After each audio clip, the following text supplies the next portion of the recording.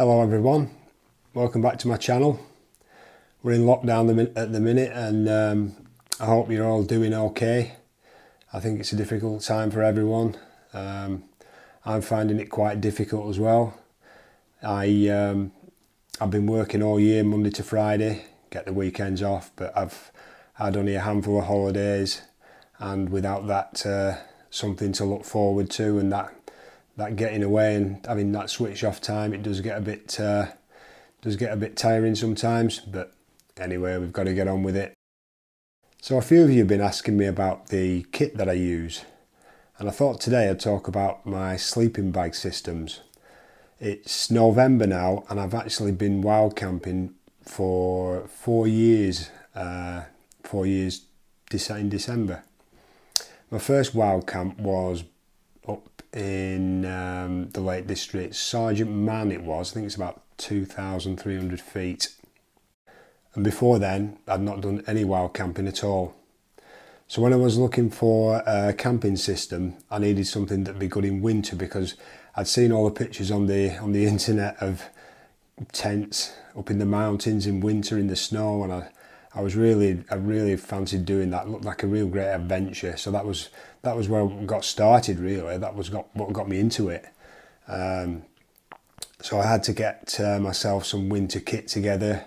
Uh, I'd, I'd no real experience. I'd, I'd, never done anything like that before.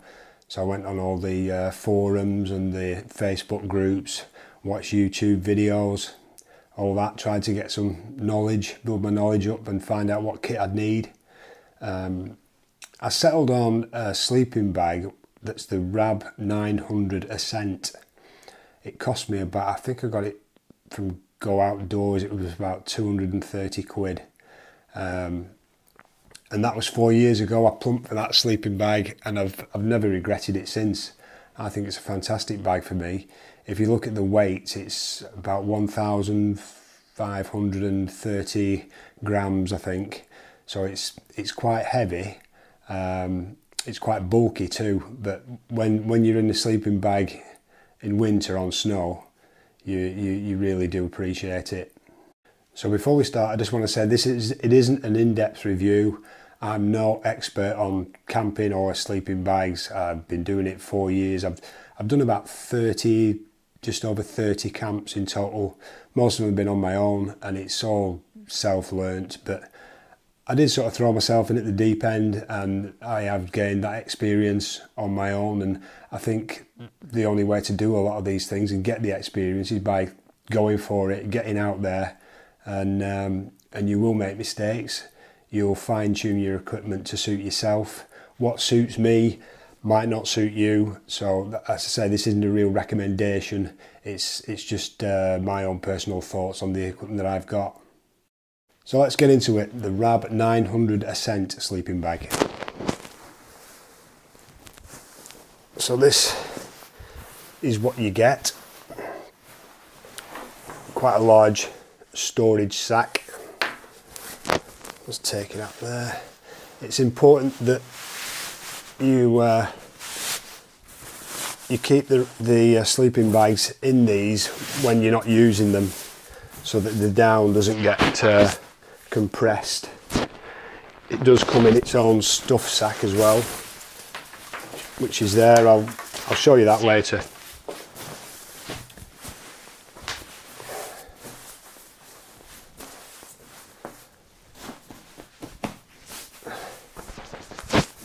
It lofts, lofts up really nicely this bag once it's been aired for a few minutes it really does loft up nicely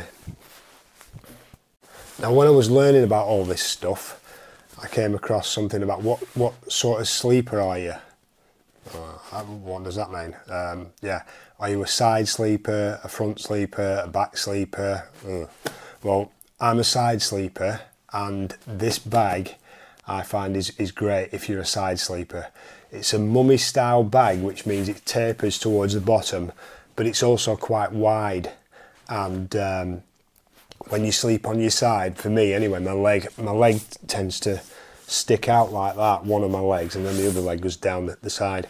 So I've I've tried mummy bags. It's really good if you can get get the shop to let you try the bags out. Um, because when I tried a mummy bag, a normal mummy bag, as a side sleeper, it just wasn't comfortable at all. At all. I didn't have that width, um, and I just couldn't get comfortable in it. But this this uh, Ascent 900 is there's plenty of room. I mean, the disadvantages of that is there's a lot of space inside that needs to get warm.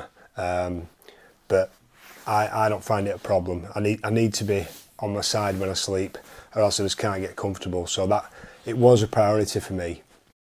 And what you need to remember about sleeping bags, it may, may sound stupid, but it's something I, again I never thought of as a, as a beginner, is that the bag doesn't generate any heat. You generate the heat, and you need the bag just keeps the heat inside. So if you if you start getting out of the bag in the middle of the night for uh, to nip to the toilet, the bag starts cooling down immediately. You go outside the tent, you get cold, you come back in, you've got to start the heating process all over again. So I try to uh, really minimise the time I spend out of the bag at night in winter, just to make sure that warmth stays inside the bag. If you're not in the bag, there's no heat being generated and it will get cold. Fortunately, this bag has a nice hood system there. You can draw the cord in quite quite snugly. There's a large uh, net baffle so all that heat that you're generating inside the bag, it's just trapped inside and it just keeps it nice and toasty and warm. So if we take a closer look at this bag, you can see it's the Rab Ascent 900. Hydrophobic European Premium Duck Down Pertex Micro Light. You've got a really good hood on uh, on this and um, there's a draw cord there that you can pull it nice and tight around your head to keep all the uh, the warm air in. Just, uh, just me zip down a bit. You can see this big uh, net baffle there. So when you when you've got all your heat inside the bag, you draw that around you, and it really seals everything in. Pull the hood down, and it keeps you really warm. There's also a nice uh, a nice long zip on this all the way down there opens it up you can unzip it from the bottom up if you want to if your feet get too hot. Um, you can see again you can see the, the baffle the net baffle there. And there's a little pocket. Not particularly big but you can you can store things in there. If anything like me everything tends to get lost at night in the tent in the sleeping bag. Back up again. Yeah, once you've got that all pulled in, you're really toasty, really toasty. So that's the Rab Ascent 900 sleeping bag. Fantastic bag, I love it. But when I started to wild camp and I wasn't camping in winter, I thought this is a bit heavy and it's a bit bulky. Could I get something that's not as warm? I don't need it to be as warm in summer, a bit lighter, a bit less bulky. A heavy pack, no one enjoys a heavy pack, especially when you're carrying it up mountains. So if you can lighten that load, it just makes it much more enjoyable. Um, then I looked at the Alpkit Pipedream 400. So this is the Alpkit bag and you'll immediately see a difference in the size of the storage bag.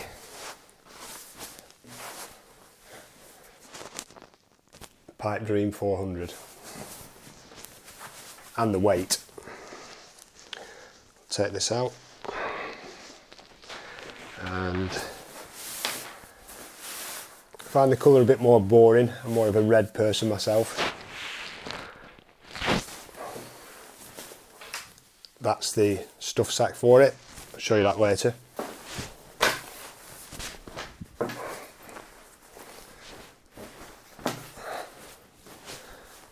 Now this bag, I'll put the I'll put the links in the description.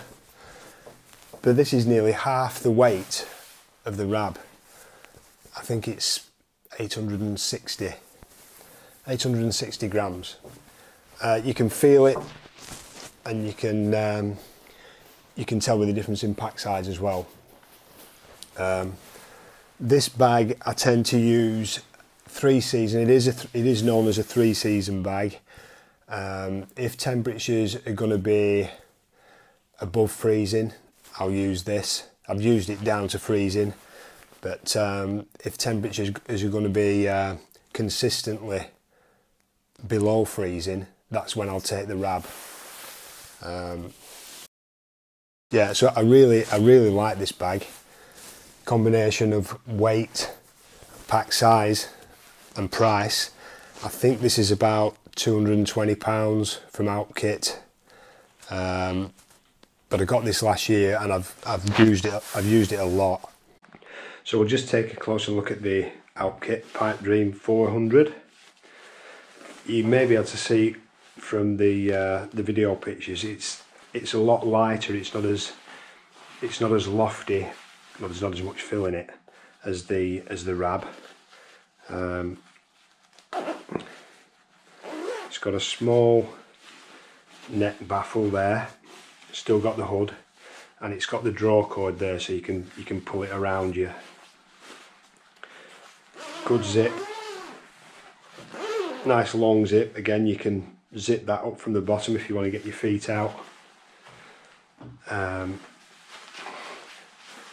and there we are. But both of these bags are down filled bags which means you don't want to get them wet. If you get the down wet it's heavy uh, it can all stick together so you, you don't want to get the down wet. It's got a hydroscopic coating I think that just does resist a bit of water but it, it's not not much at all. So you need to keep these bags dry. But down is certainly the warmest. And that uh, that's it all zipped up so the Alpkit Pipe Dream 400. Right, so I've got the uh, the sleeping bags in this stuff sack now. As you can see, I've had to take off my hoodie because I'm sweating. You know, it's like getting them sleeping bags into the stuff sack, stuffing them in. So, the Rab Ascent 900. There it is in its stuff sack, all packed away. That then would go in the bottom of my rucksack. The Alpkit Pipe Dream 400 is there. See the difference in pack size immediately. The difference in weight, I said that's about nearly half the weight of that. But both, in my opinion, for me, they're both great bags. I don't need to take that in summer. I can take that three seasons. In winter, I'll take this. So there's no one sleeping bag for me that, that does all four seasons. Um, there's always going to be a compromise, and if, if just sticking to two bags, I think this is a great choice for me. Your circumstances might be slightly different, so uh, you need to get what best suits your needs. So I hope that's been useful for you. Um, short and sweet, as I say, I'm not an expert on camping, sleeping bags, or anything really. I'm just sharing some of my experiences with these two bags. Um, so I hope you find it interesting and maybe helpful too. Now while we're talking about keeping warm, I just wanted to show you this little device that's been sent to me by a company called Ocoopa. They've, uh, they've been watching some of my videos and probably seen me going like this. My hands are freezing. Um, yeah, so they've sent me this little hand warmer stroke power bank. So we'll take a closer look at that too. I've not had chance to use it yet. Um, obviously we're locked down, but um, first impressions are it's a nice little unit. So as you can see, it's the Ocoopa rechargeable hand warmer and it's a power bank too. You get a little lanyard with it there and there's a charging cable in there and a little uh,